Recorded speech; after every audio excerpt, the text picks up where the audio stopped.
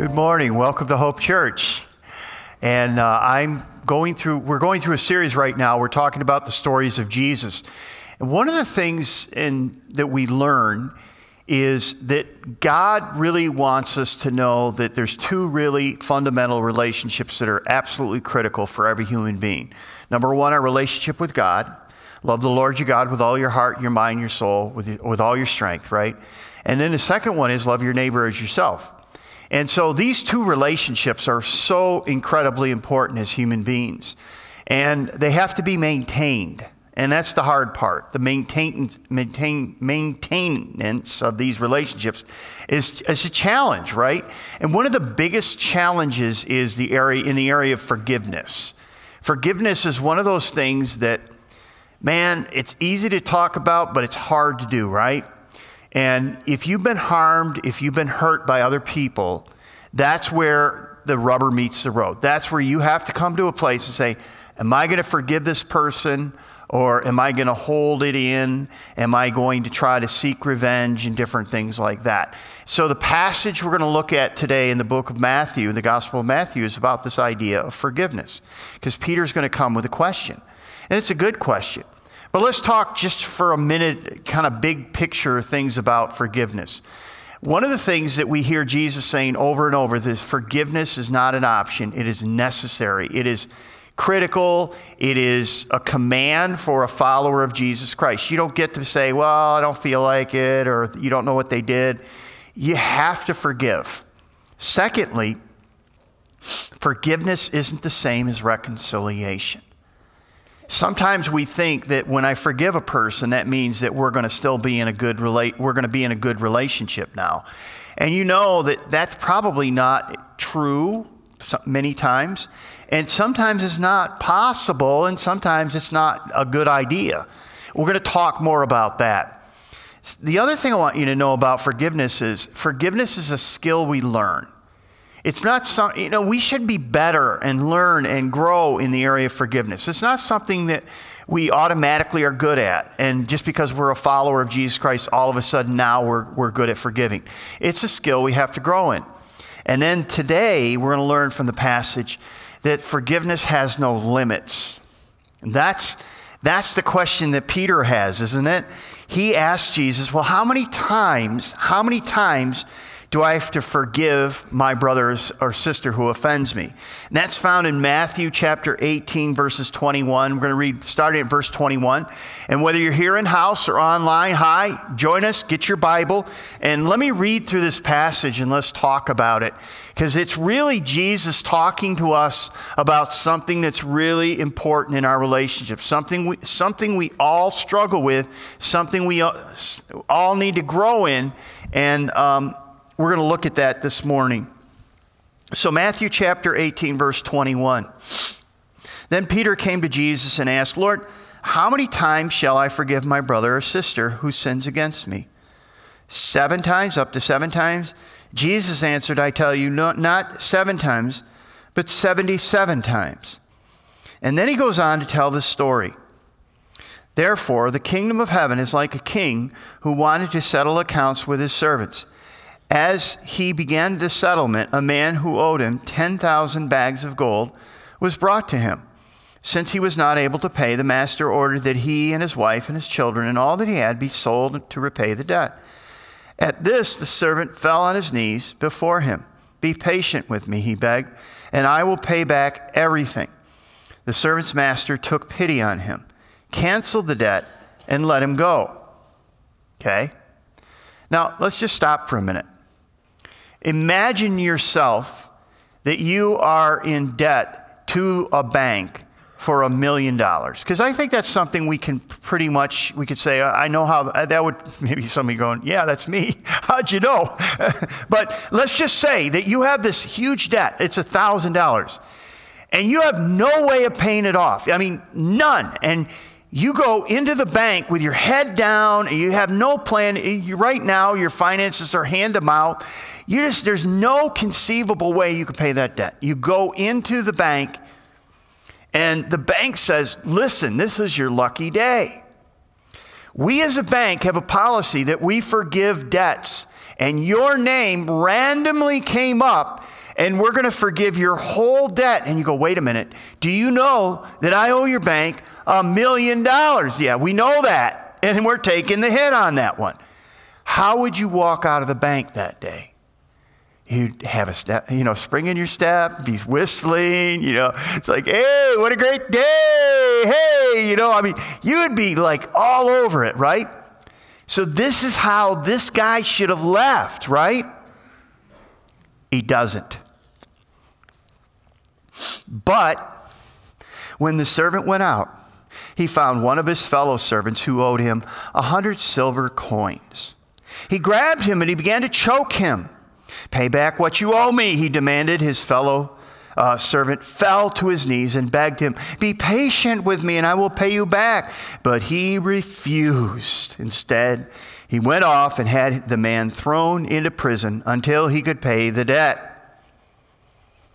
there was a bunch of people around that kind of knew what was going on in this man's life, and the debt he was forgiven, and he saw, they saw immediately what he did. When the other servants saw what had happened, they were outraged and they went and told the master everything that had happened. Then the master called the servant in. You wicked servant, he said. I canceled all your debt, uh, all that debt of yours, and be- because you begged me to. Should you not have had mercy on your fellow servant, just as I had on you. In anger, his master handed him over to the jailers to be tortured until he should pay back all that he owed. And then Jesus says this to close out that thought This is how your heavenly Father will treat each of you unless you forgive your brother or sister from your heart. All right, well, let's unlock the parable, right? Peter's question's a good one. Um, I can forgive my brother and I, or sister, and I know I should, but how many times do I have to do it? So you kind of wonder why Peter's asking that question, right? Is it one of the disciples like bugging him, or is it somebody in his family? Uh, who is? Well, why does he bring this up? But he brings it up, and Jesus basically goes in and tells the story. So the question is, how much was the debt that this servant owed the king? All right, how much was his debt? So I've kind of done some uh, research and I've done a little work. And it's interesting. There's two things about this parable. First, the man who owned the king uh, a debt, he owed in talents. Okay, the man who owed the the the uh, you know the wicked servant, you know, he came out and grabbed him by the neck. He they they, they call that that's not a, that's not the same uh, amount of money. But let's just start with the king. So he owed the king 10,000 talents, okay? So one talent is equal to 75 pounds. All right, we're bringing it into our day. So seven, that's, so that, if you multiply that, 75,000 pounds, okay, of gold. Now, the current price of gold today, well, it was a couple days ago, is, was $29,000 a pound. So if you multiply that, it comes out to, for those of you that are good at math, about $21.75 billion. You get the point? You get the point. He had quite the debt, right? Um, the point that Jesus is making this is that he could never have paid this was beyond his scope. He could never pay it back. It was incredible. This is the GNP of some small countries in our world today. This is what he owed. And what did the king do? Well, first, he pleaded, and his words were, Be patient with me. Be patient with me. Some versions you may have, Show mercy on me. Have mercy on me, right? Well, how did he respond? If you had left the bank knowing that you had been forgiven a million dollar debt, would you walk out with a spring in your step? If somebody walked up, if your friend walked up to you and said, Hey, you know, I owe you 20 bucks. Uh, I don't think I can get it to you this week. You go, Forget it. Don't worry about it. No, no big deal. Let's just call it even, right? Wouldn't you, wouldn't that be your response? Instead, what does he do? He grabs the first guy that he sees owes him money and he says, Pay up now. Grabs him by the neck. I mean, picture that, right? He's forgotten something. Now, the question is how much did the guy owe him, right? Well, we figured that out too. So he owed a hundred denarius. So a denarius, a hundred denarius is about 400 grams. Okay? So 400 grams is 0.88 uh, pounds. It's not even a pound, okay? It's not a pound, all right? And we're not talking about gold, we're talking about silver. All right. Now, how much was that in today's market? Well, it comes out to be $247. you get it? $247. And what was the other number? $21.75 billion. It's, it's really like a million dollars versus a penny, really. It's what it comes to. It's even more than that. The point Jesus is making is this guy had an insurmountable debt. They would never pay it back. There's no way he could pay it back. And the king, he says, Show mercy, have mercy on me. And he does. The king eats the debt. And then he finds the first person who owes him money. He grabs him by the neck. He owes him a penny. And he throws him in jail.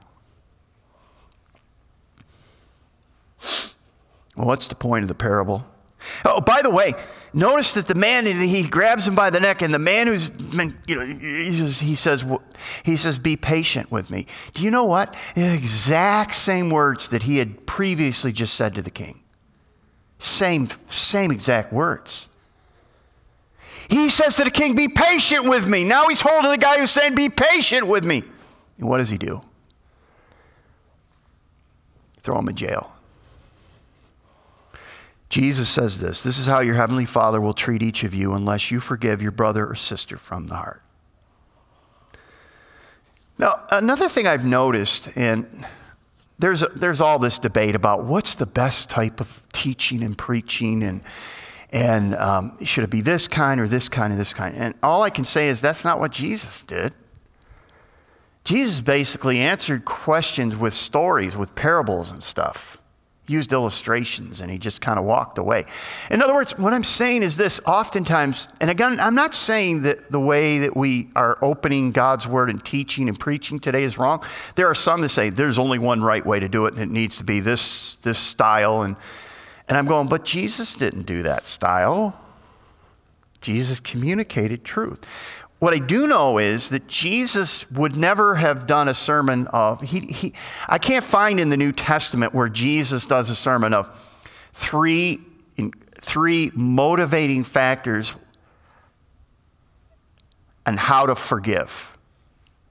He just said, forgive, now let's move on. Do it. You know, like he didn't say, here's three good reasons to forgive. Jesus said, okay, who, who should forgive? Do it. How many times? Well, here's, here's a story. Now do it. that's that's kind of Jesus' model. He, he didn't do a lot of that other stuff, but you know, I understand why we're, we're motivating and trying to encourage.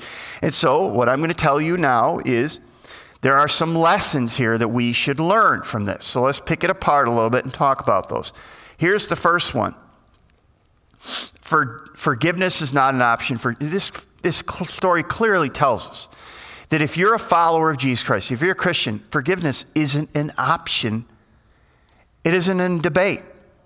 It is mandatory that we must never get tired of forgiving, of repenting, of repairing our relationships. Because relationships will fail and they need to be repaired. And we need to have to take, do the hard work of trying to seek reconciliation and forgiveness. And we need to seek all of those things.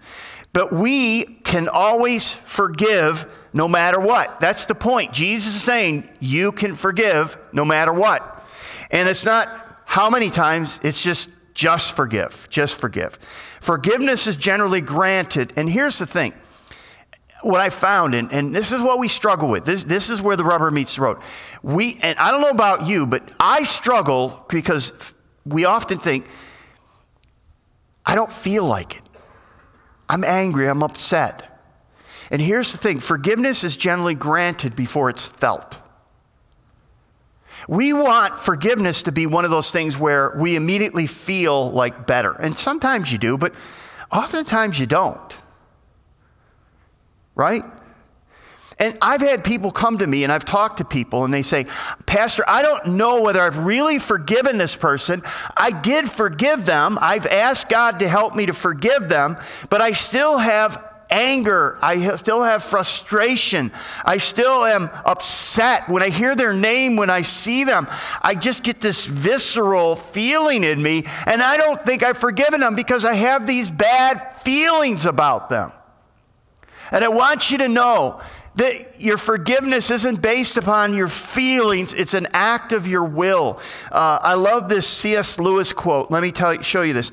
And Lewis is essentially telling us that forgiveness is hard work that will be very emotional, but we have to continually choose to do it. Look at what he says.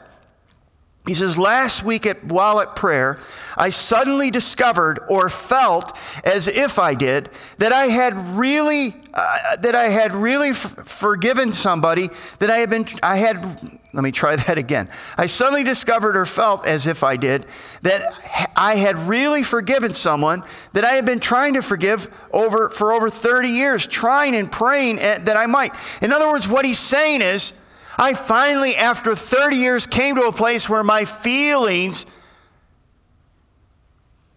felt like I forgave them. But for 30 years, I struggled when I heard their name, when I saw them. That didn't mean he hadn't forgiven, it just meant the feelings hadn't been processed yet. But forgiveness is an act of the will. And after time, usually your feelings will change. Here's what I found letting a person who has hurt you off the hook really sets you free. And I think this is really important because we often think that the minute I forgive this person, I'm letting them off the hook and they're not going to get what's coming to them. And have you ever prayed this prayer? I'm just, just, let's just put a pause.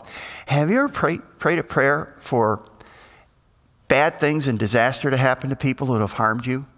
Do you think that's a good prayer? Lord, smite them. right? I mean, do you really think that's a good prayer? But I mean, I understand you're frustrated, you're angry, and you say, Lord, strike them dead. You know, it's like, I don't know if that's a good prayer. I kind of think it isn't. I kind of think, in the context of forgiveness, that's probably not. A, now, you may have to work through your prayer language, but that may not be the, good, the best one. Uh, the, the point I want you to see is forgiveness really isn't about the other person, it's about you. It's about taking the shackles of anger and frustration off your shoulders. And it's about saying, God, uh, I forgive this person for the harm, for the sin they committed against me, because I want to be free. And I don't want to carry that around. And I, I, I don't want my life to be dragged down by this thing. And uh, this is why I think in Colossians, Paul writes, Bear with each other and forgive one another. If any of you have a grievance against someone, forgive as the Lord forgave you. And so forgiveness, yeah, maybe it sets the other person free, but it sets, more importantly, it sets you free. And that's really important. Okay. Number two, forgiveness always comes at a cost to someone. Forgiveness requires somebody to take the hit, to pay the debt, to experience the pain. Somebody is going to lose out, right? If you in forgiveness, somebody has to pay. If there's a there's a, a trust violation, if there's a harm, if there's hurt, somebody is going to pay the price. Now think about this. The king took a hit of 20 mil, billion billion dollars, okay? In our, he took a huge hit to forgive this servant because the servant could never pay him back, right? And so when there's harm, there's a debt which may never be paid back. Now, I want to stop for just a minute and I want you to think about this. There are people in your life, and if you're watching online, it may, I may be speaking to you. There are people in your life who have harmed you. They have said things, they have done things either physically or emotionally that have done deep harm and damage in your life. They have hurt you and they have harmed you deeply. It may be a parent, it may be a spouse, it may be your kid. But there's somebody in your life that has really harmed you. And you have struggled with that. You've carried that weight your whole life. And you can't, you, you can't bring yourself to forgive them because you feel like if I forgive them, I let them off the hook, and, and um, I, can't, I can't do that. But here's the thing we're not talking about reconciliation. Forgiveness really deals with one person, that's you. Reconciliation, you have to have two people there. And I want to tell you, there are some situations in your life where you will never be reconciled to someone who has harmed you and hurt you. Let me give you a, a, a, a couple of illustrations. It may be that you were harmed by your parents, either physically or emotionally or whatever. You, you, they, they abused you. And, and, you want, and, and you're at a place where you can't be reconciled to them. Why? Because they're dead. What do you do? I've talked with people who have talked about trauma that they have gone through in their childhood, and they're still struggling with it today. They say, Well, how do I process that? Because I can't talk with them, they're dead. And I say, Here's what you do you write out a letter. You say, Dear mom and dad, I just want to express to you uh, the harm, the hurt that you did to me, and, and at the end, but I forgive you. They're never going to be able to say, Oh, I'm sorry, I apologize, it was a bad time, you know, whatever, you know. It's not going to happen. And sometimes I say, Go to the grave and read it. Process those emotions, get them out. It may be that somebody has damaged or hurt your reputation. Well, what do you do then? They can apologize to you, but your reputation's still in the dumpster, right? What do you do now? You have to forgive. You're going to take the hit. You're going to pay for their sin. There's no way around it. There's no, there's no way they can take, take it back. There's no way they can fix it. You may be a person, and, and this is probably more where we, where we sit, maybe not, but somebody harms you, they do things, they say something, they, they harm you, they sin against you, and, and, and you, you go to them and you speak to them because the Bible does say that you should go, you know, and talk to them and, and stuff. But you go to them and they go, tough luck, don't care, get over it. You're too sensitive, whatever. You're never going to get them to, ne- that's where you start praying those smite prayers, isn't it? Right? Kill them, Lord, now. no, no, but I mean, that, that's kind of what you do, right? I mean, that, here's the point forgiveness is really all about you. It's letting, it's not letting the, it kind of is letting the other person off the hook, but it's letting you off the hook, and that's more important. And, and forgiveness means I'm going to take the hit, I'm going to absorb the loss. Forgiveness means I'm going to forego vengeance and retribution. I'm, God is going to take care of that. I'm not going to worry about it. I'm going to let God handle it. And you can pray that. Sometimes it's helpful to pray that. Lord, I'm not going to be the one to get vengeance. I'm not going to seek rep- uh, uh, retribution. I'm going th- that is in your hands. I'm just giving it over to you. I'm giving this whole person over to you, and I trust that you're going to handle that. And you just let it go. But here's the thing many times forgiveness means you're going to have to suffer for another person's sins. But isn't that what Jesus did for us? Didn't he suffer for sins that weren't his own? And isn't that what he's calling us to do in forgiveness? Yeah, it is. I, I, I, like the quote from Dietrich Bonhoeffer. He says this He says, My brother's burden, which I must bear, is quite literally his sin. And the only way to bear that sin is by forgiving it in the power of the cross of Christ, in which I now share. Forgiveness is the Christ like suffering, which is the Christian's duty to bear. If you're going to forgive, you're going to have to take on other people's sins against you. You're going to have to do it. But here's a good way to think about it. Just remember that that's what the king did to your debt. That's what Jesus did for your sin. Forgive, Paul says, as Christ forgave you, right? That's what this whole parable is all about. And that gets us to the last point that forgiveness is impossible apart from the cross. Somebody has said theoretically, forgiveness is wonderful. Realistically, it's nearly impossible. I think that's true. Here's the problem the unmerciful servant failed to embrace, he failed to grasp his own forgiveness. He didn't stop and consider how much he had been forgiven.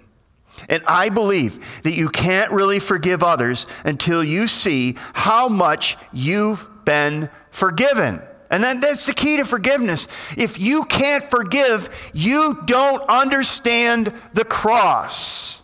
You don't. Here's, I think, the problem that we struggle with. I think within the Christian world, there are a lot of Christians who think there are some really bad people out there, and I'm not one of them. I'm not perfect. I have a little dings. I have a few rust spots. I have a few sins. But I mean, I've got to be honest with you. Jesus he died for the really bad people and kind of for me. Kind of. Do you have that attitude about it? Do you look at the cross and say, yeah, that was good that he did it for them, but I don't really need it that much? While we were yet sinners, Christ died for us. For all have sinned and fallen short of the glory of God. Every one of us falls short. For the wages of sin is death, but the free gift of God is eternal life through Jesus Christ. I think we need to get a new vision of the debt that we owe. Remember, uh, maybe you don't remember this, maybe you don't know this, but in Isaiah chapter 6, Isaiah saw the Lord.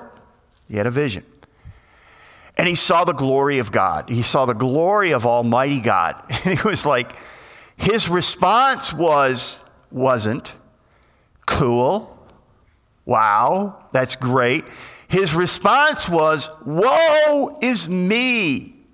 I am such a sinner. I am so lost. I should be dead right now because my debt is so great. And God forgives him, brings forgiveness to him. And we haven't come to that woe is me moment, I think. Many of us have not come to that woe is me moment. The minute that, that this servant walked into the king, and the king said, and he pleaded with him, Please have mercy on me. And the king ate his debt. He took the hit because somebody has to take the hit. He should have walked out and said, Woe is me! But he didn't. See, the unmerciful servant failed to embrace his own forgiveness, and he didn't stop and consider how much he had been forgiven. And I don't believe you really can forgive others until you see how much you have been forgiven.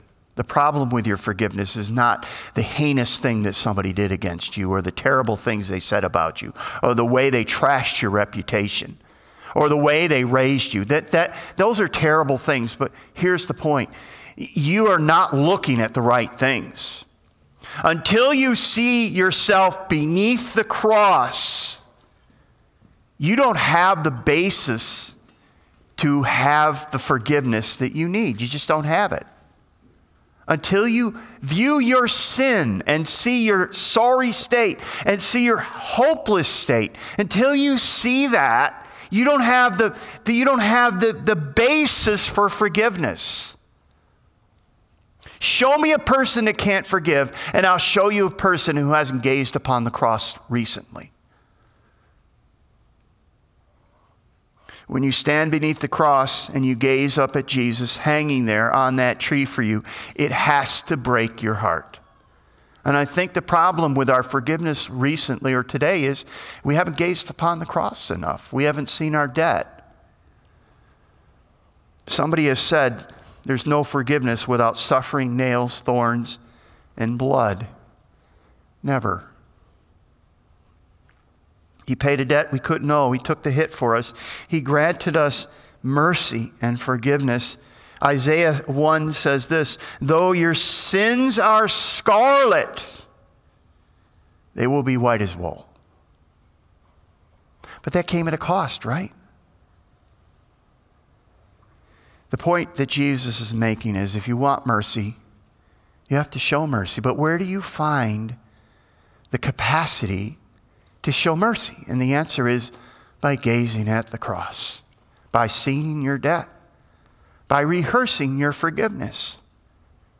And then you go out and somebody offends you or says something, and you forgive them and you say, Hey, buddy, you're going to have to do better than that. It's like a dime. The point is, Christians who can't forgive have forgotten how much they've been forgiven. If you claim his forgiveness without forgetting, uh, forgiving others, we show that we don't understand the depths of our sin and the purpose of the cross. How about you? How about you? One last final word.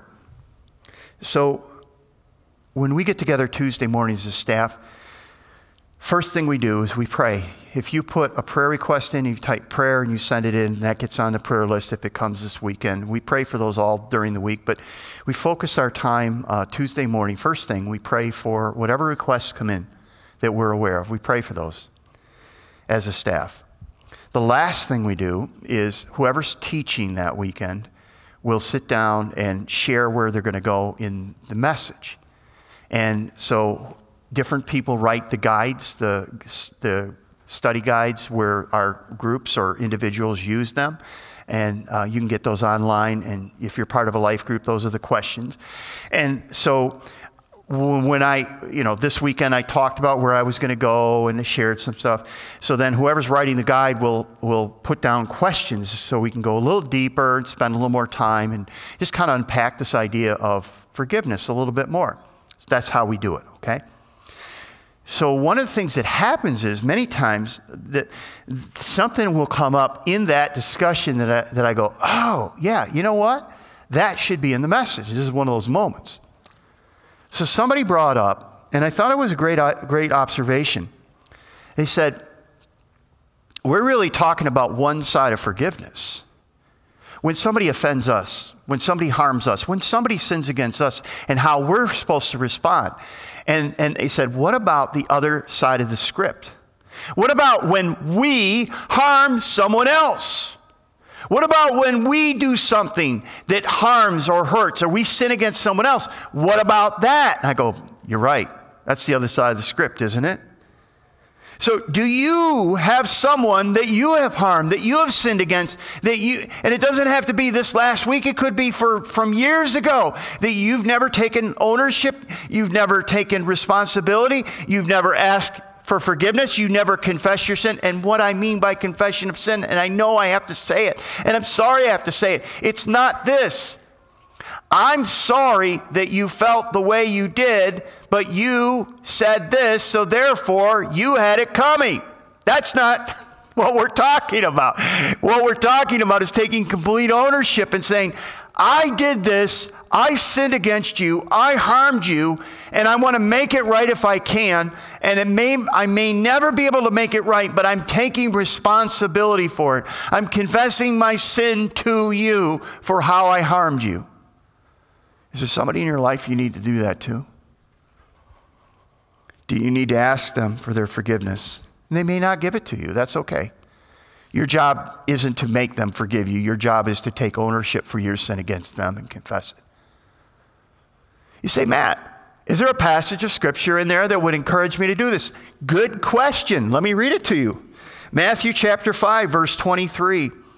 Jesus says, Therefore, if you are offering your gift on the altar, and there remember your brother and sister ha- has something against you, leave your gift there in front of the altar. First go and be reconciled to them, then come and offer your gift.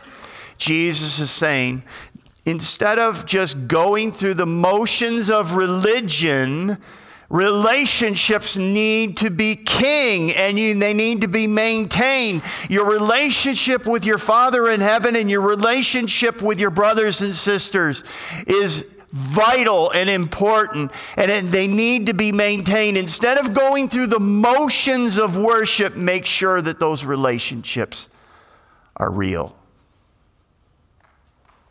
Because God isn't impressed with phony appro- people approaching him. So there's work to be done, I think, in all of our lives, isn't there? There's the work of forgiveness, and maybe there's the work of repentance. Maybe there's the work of going to somebody and acknowledging our harming them. So, what will it be? Jesus says, if you want mercy, you got to show it. You got to show it. If you want forgiveness, you got to give it. There, that's the sermon. Those last two phrases. I spent a long time getting to that. Jesus would have just told the story and said, now go, to go do it. Let's not debate about it. Let's not argue about it. Let's not explain it away. Let's just do it. Stand with me. Let's pray. Father, help us. Because without your help, without the power of your Holy Spirit, we can't do this. We need your help. We need to gaze upon the cross. We need to understand the immensity of our, our sin, our debt. That our debt wasn't small, it wasn't minor, it was insurmountable. It was beyond our reach. And only could it be paid when the Son of God came from heaven to earth and gave his precious life on a cross for us. He took our sin, he gave his life, he forgave our debt.